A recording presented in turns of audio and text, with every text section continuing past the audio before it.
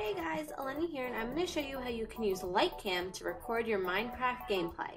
Since I have Minecraft downloaded, I can just open up liteCam and set it for recording.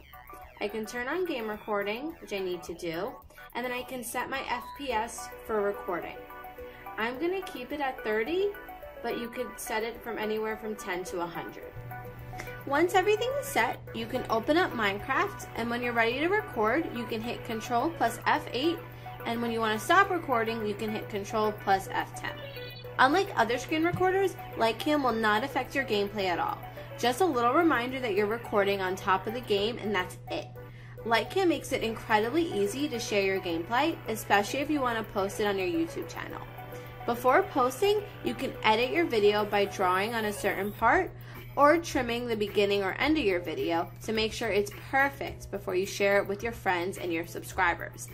If there are any games you want to see demo with liteCam, please feel free to leave the suggestions under this video or on Facebook or Twitter at liteCam.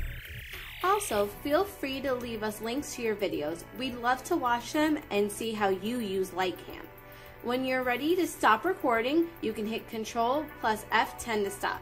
Now you need to go back to liteCam and go into the settings and switch to preview mode. In preview mode, you'll be able to watch your recorded videos. You can hit play and your gameplay will appear with the FPS counter on top. When you're done watching your videos, it'll save in liteCam by default. You can go back and open another game to record or you can close liteCam. Thanks for watching.